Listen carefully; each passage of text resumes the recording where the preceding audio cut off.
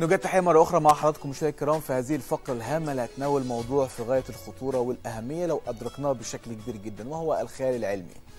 ناس ممكن تسمعني دلوقتي وبتشوفني وأنا بتكلم عن الخيال العلمي تقول لك آه هي الأفلام بتاعت الخيال العلمي اللي فيها تكسير وبيطلع الفضاء والحاجات دي كلها للأسف إحنا عندنا في مصر وأعتقد في بعض الدول العربية حصر هذا الموضوع لأن إحنا ما جربناش قيمة هذا الخيال العلمي أو قيمة هذا العلم بشكل كبير جدا في كافة المجالات الأخرى زي العلم والتكنولوجيا زي ما طبقوا العديد من الدول المتقدمة. لأن الخيال العلمي ليه دور كبير جدا في هذا الشأن في إخضاع كل مدخرات التكنولوجيا والعلم لتحقيق التقدم الأمثل في المجالات المختلفة.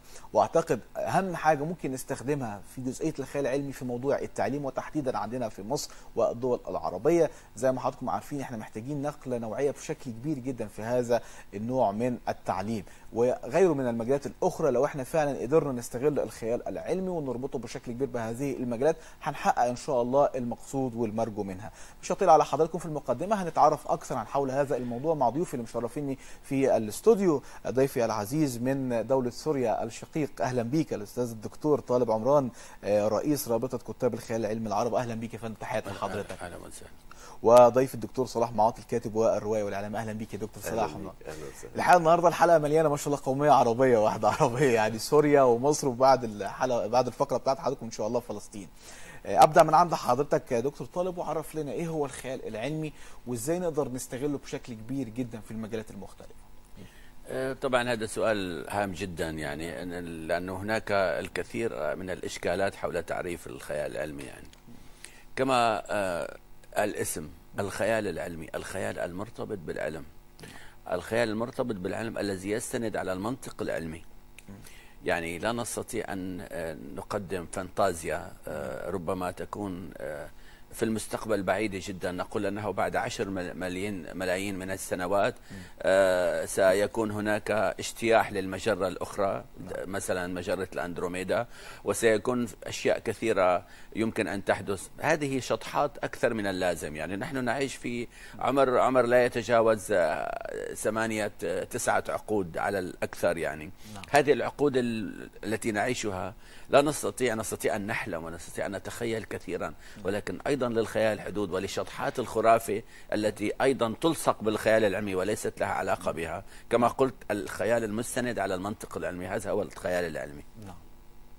دكتور صلاح هل هناك مجالات للخيال العلمي بشكل كبير ولا الخيال العلمي هو دخل في حياتنا في كل مجالات حياتنا. بس أنا قبل ما نتكلم عن الخيال العلمي أحب بس فضل. نتكلم عن مؤتمر الخيال العلمي اللي هو كان أول امبارح. والحقيقة ده المؤتمر الثاني اللي بيعقده اتحاد كتاب مصر. نعم. المؤتمر الأول كان يحمل اسم رائد أدب الخيال العلمي المصري نهاد شريف نعم. الراحل طبعا. و يعني كان كان كنا نتمنى أن يكون معانا الدكتور طالب في في في هذا المؤتمر لكن إحنا عملنا المؤتمر الثاني باسم الدكتور طالب عمران تمام وأصدرنا هذا الكتاب وهي في مجموعة من الأبحاث المهمة جدا عن نعم. آه وطبعا أنا بحيي اتحاد كتاب مصر ممثلا في رئيسه الدكتور علاء عبد الهادي لأن يعني في, في خلال هذه الدورة تم عمل آه يعني مؤتمرين للخيال العلمي وبنجهز لمؤتمر العام القادم بإذن الله. جميل. آه أما مجالات الخيال العلمي فالخيال العلمي يعني أنا بتمنى إن كتاب الخيال العلمي آه أنا بتخيل إن حتى البعض منهم بيرتدي معطف العالم ونظارته ويبقى حاطط قدامه تلسكوب ميكروسكوب. لا الفكرة مش في كده. أنا أنا عايز أقول إن الخيال العلمي هو رغيف الخبز الذي نبحث عنه. هو المواطن البسيط الذي يبحث عن قوت يومي. نعم. هو هو الحياة. الحياة يعني إحنا مش عايزين نبتعد آه إلى أفاق الخرافة ونبتعد عن الواقع. لا الخيال العلمي مرتبط جدا بالواقع ومرتبط بقضايانا وبالتالي فهو يدخل في كل المجالات. في التاريخ هنلاقي بذور الخيال العلمي. آه في الفلسفة في المنطق في علم النفس. كل مجالات العلم هتلاقي فيها جانب آه بيمس الخيال العلمي. تمام. أما بالنسبة لكيف كيف كيفية تطبيقه وأهميته طبعا آه فكرة أن أننا ننشئ جيلا يهتم بالعلم ويتعاطى مع موضوعات الخيال العلمي هذه مهمة جدا.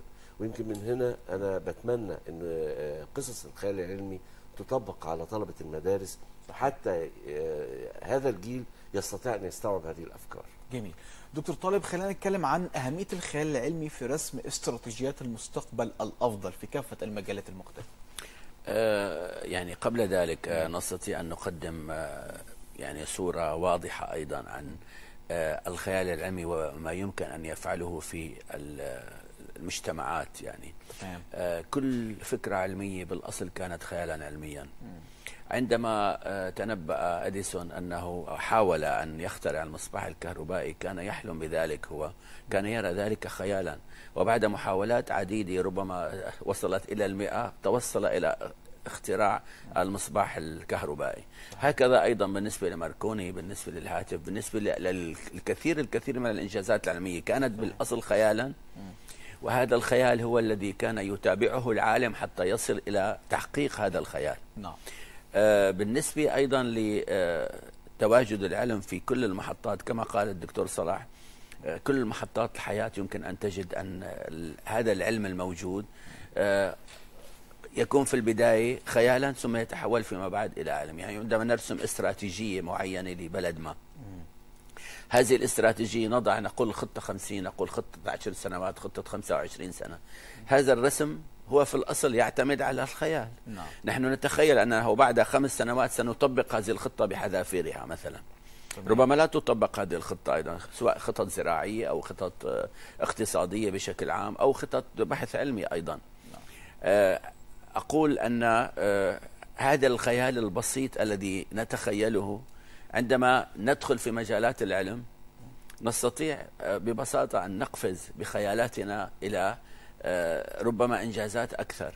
وهذا ما تقوم عليه الحضارة الحديثة يعني لا نستطيع أن نتنفس إلا نجد أن هناك اختراعا جديدا. في الأصل آه، يعني أنا أذكر أنه في عندما هبط الإنسان على القمر في عام 1969 في 20 يوليو 1969 آه، قال الناس أن عام 1980 سيكون عام هبوط الإنسان على المريخ. وقالوا أنه قبل نهاية القرن العشرين سيكون هناك أزرار ال- السترات التي يلبسها الناس. قد يكون أحد من هذه الأزرار مذياعا وقد يكون أيضا الساعة التي في اليد هي ساعة تلفزيونية. طبعا هذا الأمر تحقق فيما بعد عن طريق الجوالات الهواتف الم- المحمولة يعني. آه، ولكن دائما العلم يحلم بإنجازات أخرى. نستطيع أن نقول أن الهندسة الوراثية دخلت إلى مجالات أيضا مختلفة. ولكن كيف نستشرف المستقبل عن طريق الخيال العلمي؟ هذا سؤال مهم جدا. صحيح. وأنا أختلف مع بعض الناس الذين يقولون أننا آه، أن العلم سبق خيالنا. لا العلم لم يسبق خيالنا. صحيح الخيال بيسبق بشكل دائما بشكل مستمر. لذلك آه، استشراف المستقبل هو حديث طويل طبعا يمكن أن نتحدث عنه بشكل مطول. نعم. آه، المستقبل غامض لا يعرف المستقبل آه، سوى الله سبحانه وتعالى. ولكن ال- الإنسان عندما تفترض آه، نتيجة ظروف معينة في تحيط بمدينة ما مثلا. أن هناك مصانع تحيط بهذه المدينة هذه المصانع تلوث البيئة في هذه المدينة. تمام. بكل بساطة تستطيع أن تتخيل وهذه ليست نبوءة بعيدة أن هناك أمراض قد تحدث للناس الذين يسكنون هذه المنطقة. نتيجة التلوث الموجود صحيح. وقد تكون هناك نسبة سرطان صدر عالية وقد نعم. يكون هذا مثلا شيء من النبوءة العلمية ولكن نبوءة قائمة على المنطق. نعم. النبوءات المستقبلية التي لها علاقة بواقع آه، ربما واقع اقتصادي واقع آه، زراعي واقع سياسي إلى آخره. هذه نبوءات طبعا مختلفة يمكن أن نتحدث عنها لاحقا. تمام. دكتور صلاح مهم جدا إن إحنا ندرب أولادنا وندرب الأجيال سواء الحالية أو الأجيال اللي هتيجي بعد كده على فكرة إن يكون في خيال علمي. لأن للأسف لو جيت سألت مثلا الشباب دلوقتي وأنا مع حضرتك لو نزلنا بالكاميرا دلوقتي وسألنا إيه الخيال العلمي يقول لك آه أنا اتفرجت على فيلم خيال علمي قبل كده. لأن ناس حصراف في الجزئية دي فقط. ولكن ده في مجالات مختلفة. إزاي نقدر ندربه؟ يكون عندنا ممارسة الخيال العلمي يكون عندنا ناس مبدعة في هذا المجال بشكل كبير وأجيال منذ الصغر نأهلها لده. هو يجب أن نفرق بين آه، الخيال العلمي المنضبط الذي ذكره الدكتور طالب عمران القائم على المنطقية العلمية نعم. وبين ما يرد إلينا من الغرب من أفلام خيال علمي. صحيح. في أفلام على مستوى راقي جدا ومهمة جدا. صحيح. ولكن آه، في إذا كنا نتحدث عن النشء والجيل الجديد والأطفال آه، معظم شخصيات ال- الخيال العلمي أعتقد إن أنها تبعد عن أدب الخيال العلمي. يا إما فيها خرافة يا إما آه، فيها جوانب آه، تدعو إلى العنف وإلى الدموية وإلى آه، مزيد من يعني سطوة ال- ال- ال- ال- الخطر ال- الذي ممكن أن يهدد هذا الجيل. لكن أنا بتمنى إن أدب الخيال العلمي عندما نتناوله نحن نحلم بمستقبل علمي جيد. ومع ذلك عندما نفكر في المستقبل هذا المستقبل العلمي لا ننسى المستقبل السياسي. يعني إذا كنا نتحدث مثلا عن سنة 2050 يعني يعني بعد آه، 32 سنة من دلوقتي تقريبا يجب أن نتخيل الواقع السياسي في ذلك الوقت سوف ما يعني كيف سيكون شكله. نعم. الواقع الاجتماعي التعامل مع البشر يعني كيف سيكون مع الفكرة العلمية التي سوف نطرحها من خلال الرواية. أما كيفية ندرب النشء فكرة تدريب النشء أو تعليم الإبداع والخيال العلمي إبداع هي قصة. في النهاية هي قصة أو رواية آه، في عمل إبداعي. العمل الإبداعي لا يدرب ولا يمرن هي موهبة. وبالتالي نضع أمام آه، ال- الأطفال أو الشباب آه، مقومات المقومات اللازمة التي تجعله يستطيع أن يستوعب هذا اللون من الأدب صحيح. وكيف يتعامل معه. من خلال بقى قراءات كثيرة جدا في هذا المجال. صحيح. سواء يعني ماذا يقرأ الش- الشاب مثلا؟ يقرأ يعني أنا مش عايز أقول له اقرأ آه، خيال علمي بس أو اقرأ علم بس عشان تكتب. لا صحيح. اقرأ في التاريخ اقرأ نوع. في الفلسفة اقرأ صحيح. في كل مجالات. يعني مشكلة كاتب الخيال العلمي أنه يجب أن يقرأ كل ما يصل إليه صحيح. يده. دكتور طالب آه، آه، دكتور طالب عندنا في مصر يعني من القفشات المصرية اللي هي المعروفة لما تلاقي مثلا آه، ولد قاعد بيقول بابا نفسي والله يا بابا أعمل عربية تمشي من غير بنزين أو عربية تمشي من غير زيوت. فتلاقي بابا رده الطبيعي ده أنت خيالك واسع. وأعتقد عندكم في سوريا الكلام الجميل ده. مهم جدا إن يكون عندنا فكر الإبداعي. مهم أفضل إن إحنا نتبناه. إزاي نقدر نكمل هذه الحلقة المستديرة ما بين الأسرة وما بين المدرسة وما بين المجتمع في تبني الناس اللي عندهم تفكير يعني ممكن نحطه تحت مظلة الخيال العلمي بشكل كبير ونستفاد من هذه التجارب. يمكن أنا عملت حلقات مع طالب ما كملش في الثانوية العامة اللي كرمه أح- الرئيس عبد الفتاح السيسي أحمد الطوي في ثانوي عام ثانية ثانوي عام اخترع علاج لأفضل أنواع السرطانات. الأخطر عفوا أنواع السرطان لو سرطان الجلد. كذلك برضو طالب في تانية إعدادي مخترع روبوت ممكن يروح للعمل للمكان اللي فيه الإرهابيين وينقل لك كام عدد الإرهابيين والتسليح ومكانهم فين وكل المعلومات دي كلها. يعني ده قبل كده كنا نقول ده خيالك واسع في البث لكن دلوقتي محل تطبيق. المنظومة كلها كيف يتم تبنيها بحيث إن إحنا نقدر نسخرها بعد كده لخدمة المجتمع بشكل كبير وتحقيق التقدم الأفضل للدولة في المجالات المختلفة. آه، الأجيال الجديدة التي آه، تعيش في أوطاننا العربية. هذه الأجيال الجديدة هي أجيال بشكل ما مؤتمتة. يعني آه، دخلت على التقنية من بابها الواسع وبدأت تغرف من هذه التقنية. نعم. بالتأكيد لهذا الموضوع له آه، أيضا آه، يعني جانب ليس صحيحا ولكن هناك جانب آخر يمكن لهذه الأجيال أن تبدع في مجالها التقني. وكما قلت قبل قليل آه، كيف آه، طالب الإعدادية آه، تمكن من اختراع روبوت يسير بحركات معينة إلى آخره ضمن هذه نتيجة أيضا ال- الذكاء الموجود البشري إضافي للمعلومات التقنية التي هذا الشاب الصغير استوعبها وتمكن أيضا من تفعيلها والإبداع والوصول إلى إبداع آه، ما. آه، هذا الشيء مهم جدا أيضا بالنسبة لطلابنا. تمام. آه، الطالب عندما تقدم له ثقافة علمية صحيح. عن طريق قصص خيال علمي شيقة وليس عن طريق فيلم. الأفلام الموجودة ربما من بين 100 فيلم يمكن أن تجد صحيح. فيلما واحدا فيلم واحد. جاد والباقي أفلام غير جادة يعني. يعني ما فائدة سوبرمان أو فائدة الشخص الذي يقوم بنقل كل الأشياء ويغير حتى من الزمن وهذا شيء غير منطقي يعني خارج حدود المنطق صحيح. العلمي. ما يندرجش ولكن- تحت موضوع الخيال العلمي خالص. نعم لا يندرج لا. لذلك نقول أن الثقافة العلمية تأتي عن طريق هذ- هذه القصص. يعني بدأ أن نكتب قصص عن الحيوانات وعن سنة الحيوانات وقد أدخمت بها المكتبة العربية. بهذه كتب الأطفال التي تتحدث عن الأرنب وال- والضفدع والسلحفات إلى آخره. آه، نستطيع أن نقدم نحن قصص شيقة علمية للأطفال تستند على حقائق علمية أيضا تفيد ال- الطالب في مجاله العلمي حتى, حتى أنها تقدم له المعلومات العلمية ال- ال- الجافة بشكل كثير منطقي وشيق أيضا. هذا مهم جدا بالنسبة للتثقيف العلمي للأطفال بالنسبة للخيال العلمي. نعم. يجب على كل وزارات التربية كما قال الدكتور صلاح أن تأخذ هذا الجانب آه، بشكل أنه تفرض لأنه كما قلنا قبل قليل ال- الأطفال عزفوا عن القراءة. نعم. يعني نسبة عالية جدا لا صحيح. تقرأ. ده الشباب يا فندم في الجامعات دلوقتي ما بتقرأش؟ نعم نفس الشيء نعم. أيضا في الجامعات.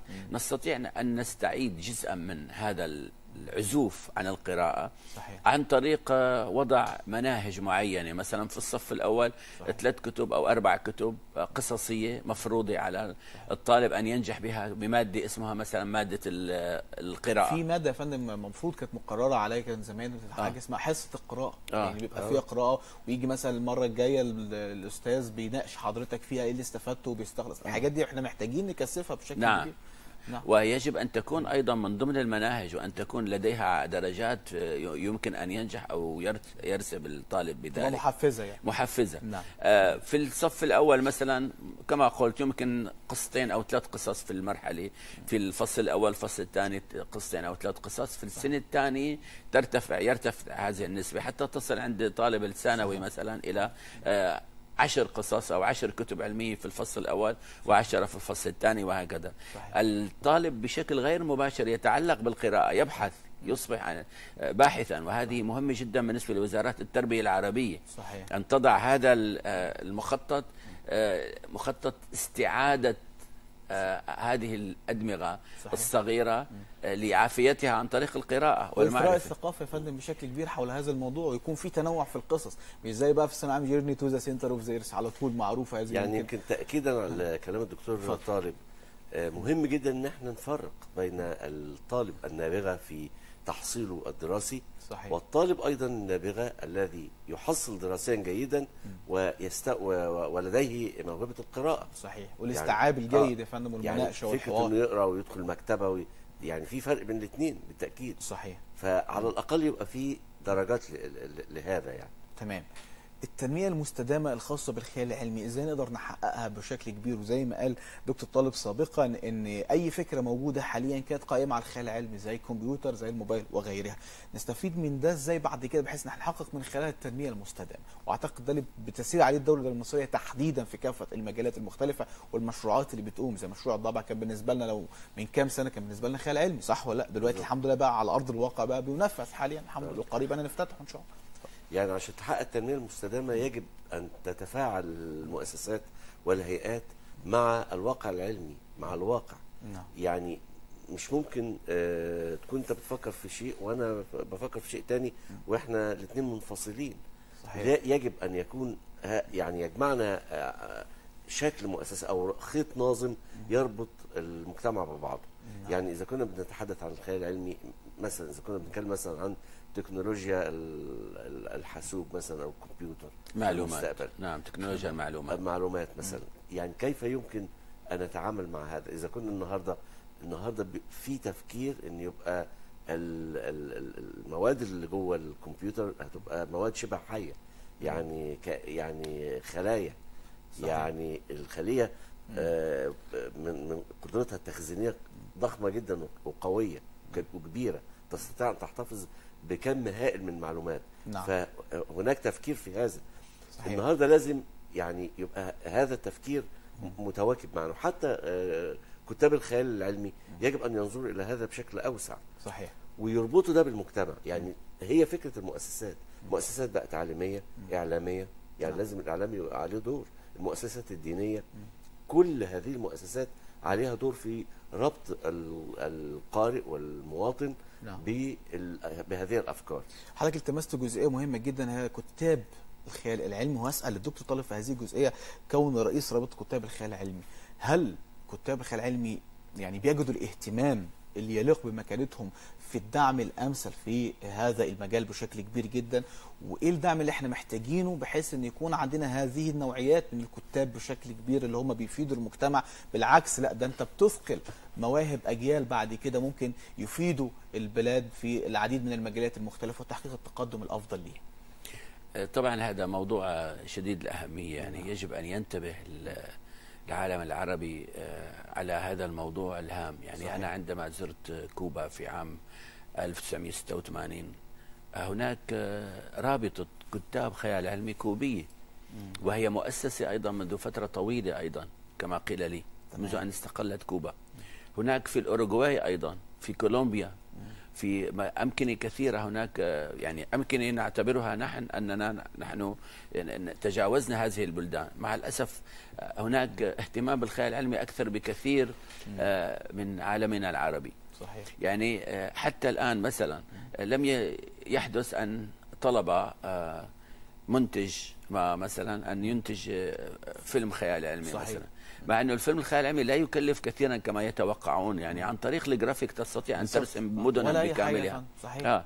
وأيضا آه، يمكن أن تجد آه، شيء آخر للحكومات العربية بشكل عام أو حتى ال- الأدباء حتى الاتحادات ال- الأدبية يعني آه، ليست مهتمة كثيرا بهذا الموضوع وهذا موضوع رغم أنه كما قلت قبل قليل يعني هذا الموضوع لو انتشر بشكل جيد تستطيع أن تستقرئ مستقبلك تستشرف مستقبلك بشكل ما ويمكن أن يكون هذا المستقبل واعدا.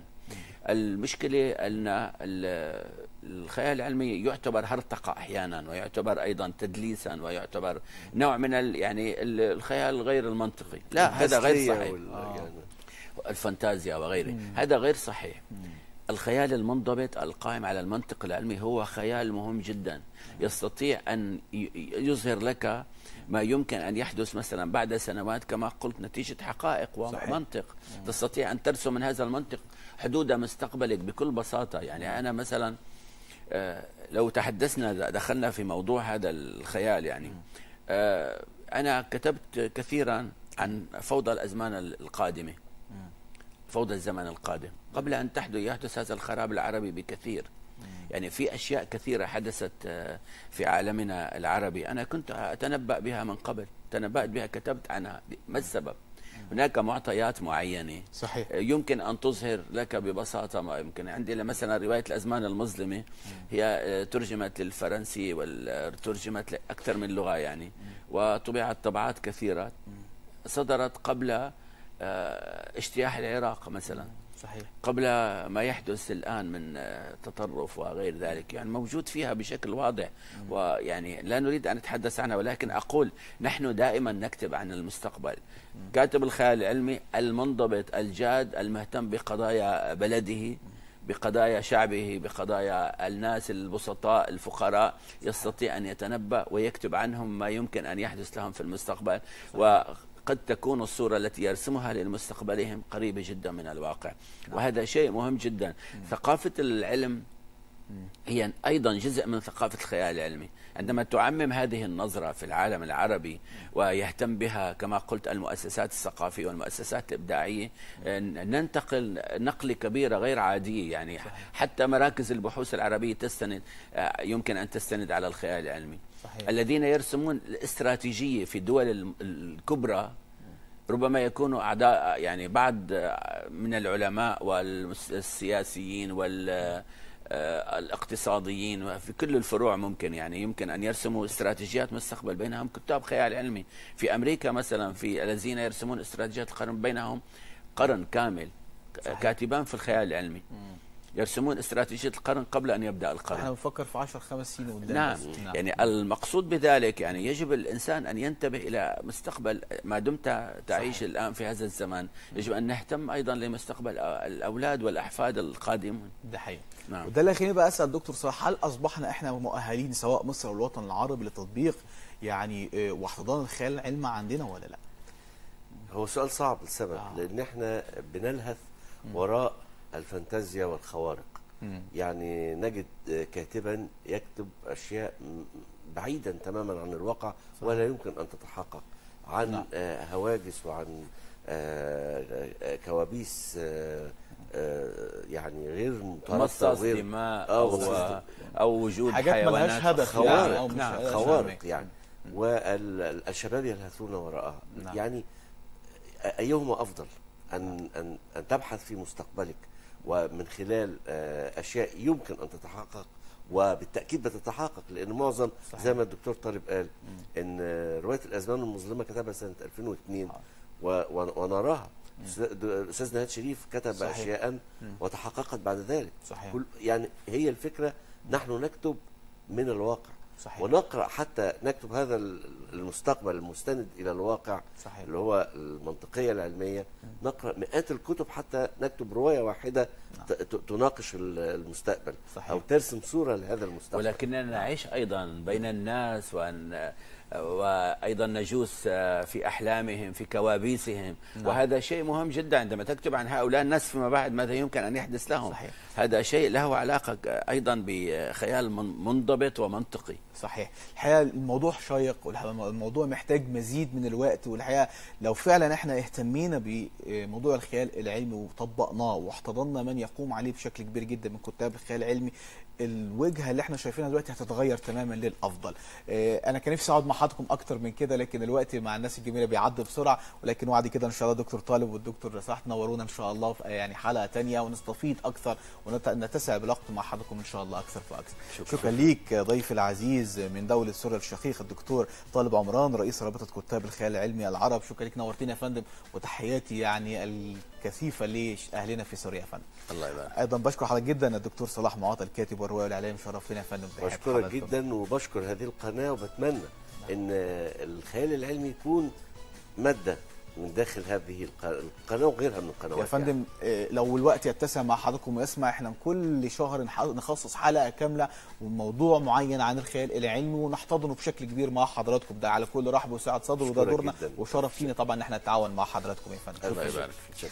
لسه مكملين القومية العربية مع حضراتكم مشاهدينا الكرام بعد الفاصل. فقرة حوارية أخرى مع ضيف الدكتور ياسر آه، أبو سدون الفنان التشكيل الفلسطيني والقيادي بحركة فتح والحديث حول القضية الفلسطينية لا في المقام الأول قضية عربية. برمتها انتظرونا مشاهدينا الكرام.